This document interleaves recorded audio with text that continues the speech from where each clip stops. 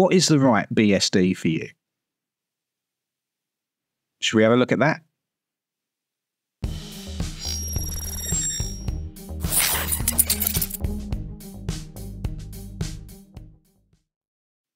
There are three major BSDs, four if you include one that was forked from another. Let's take a look at those and, and find out which one would be the right one for you. I can't make that choice for you. I can tell you which one I use, but I can't tell you which one you should use. You have to decide that yourself. So let's take a look at the, the major BSD versions and see what they're all about. So the first one, in fact, let's have a look at the Unix history and find out which was first. Let's have a look here. What came first?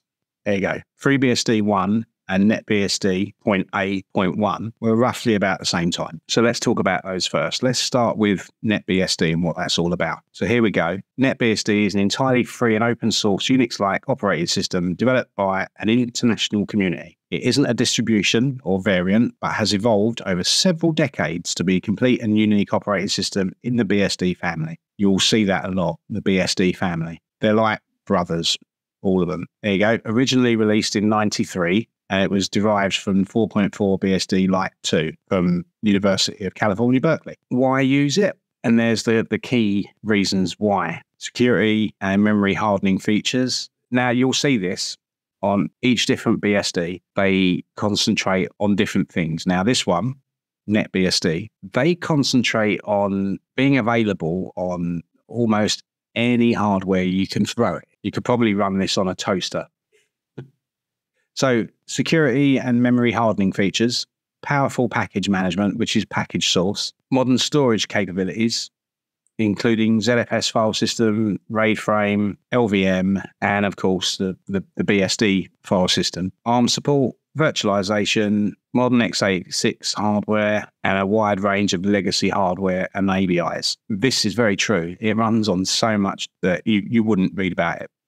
So if portability is an issue for you, and you need to be able to run this on varying different hardware in your home, your your office, your lab, wherever it may be, this might be a good one for you. Which one came next? FreeBSD. Now, I'm pretty sure that NetBSD came ever so slightly before FreeBSD. I'm not 100% sure on that, but that's just my understanding.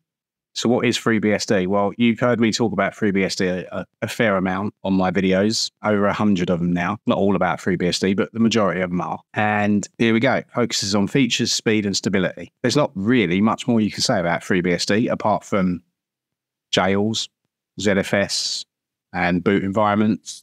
Both of those linked together. They are very, very powerful. Makes a great internet or intranet server. Robust network services advanced embedded platforms, loads and loads of packages. According to this, over 33,000. I'd be interested to see how, just how many it is now. Let's see if we can see that. 57,000 plus. So saying that there are 33,000 is probably a little bit out of date.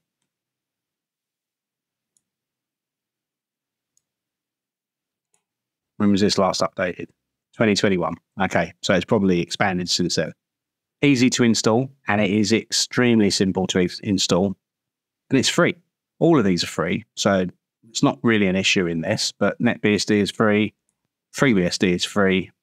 So let's move along to the next one. Now, as you'll see on my list here, so we're looking at this center bit here.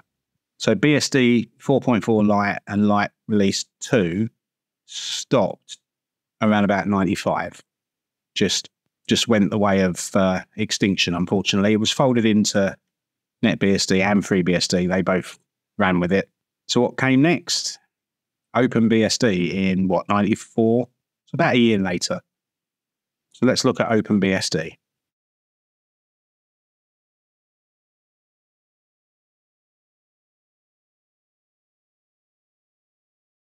Let's have a look at all the stuff they.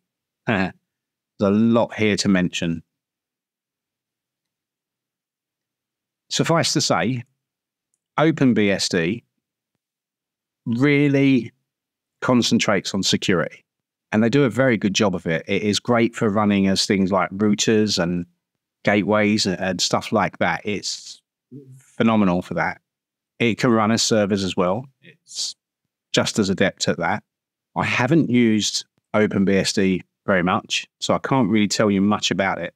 All I can tell you is they they concentrate on on security. And as far as I can remember, they've not had many major issues with security. Certainly much less than other BSDs, and certainly much less than Linux or Windows or anything else. And of course, again, it's free.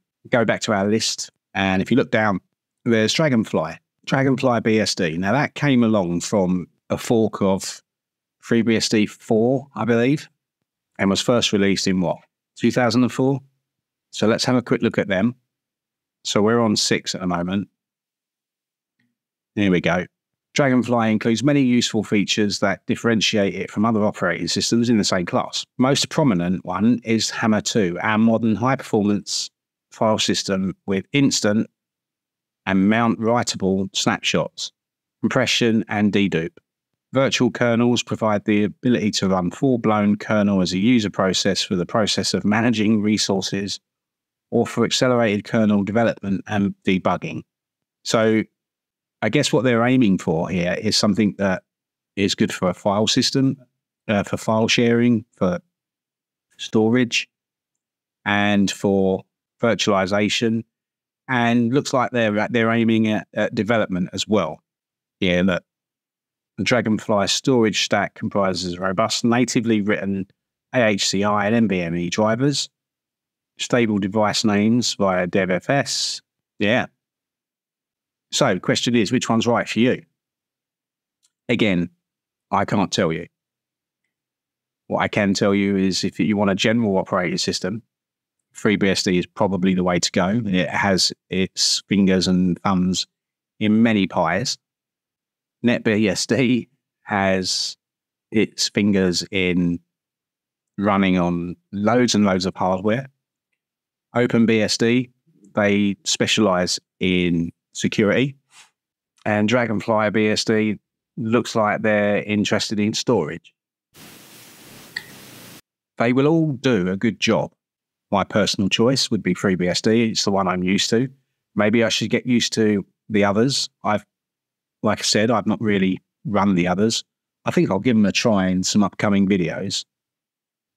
I'm quite interested to see how Dragonfly BSD's Hammer 2 works. Might be interesting. Yeah, might be very interesting block, copy on write file system, instant recovery on mount, instant snapshots, mounted snapshots are writable. Automatic snapshotting can be enabled at the system level via periodic scripts. Default periodic also does daily bulk pass on the metadata to free space, auto compression, auto dedupe, future master slave mechanism. It's got a lot going for it yeah, I want to look into this one. We'll do that.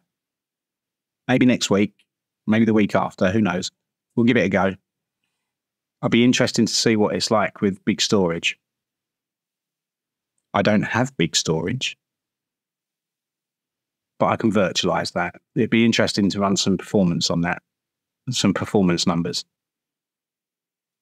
Anyway, I'm hoping that you find this useful and helps you decide which BSD is more appropriate for you. Like I say, FreeBSD is the general all rounder. NetBSD runs on loads and loads of hardware. OpenBSD is very security conscious, and Dragonfly BSD look like they uh, they really want to get into the storage game. So, which one's right for you? Let me know in the comments be interesting to know what you what you you run and which one you prefer. Don't forget to subscribe. Over 3,000, that's just incredible. Thank you all. Check out the Discord server. Ask them guys if what ones they're running. Get into some deep discussions. It'd be good to see. As always, take care, and I'll see you in the next one. Bye bye.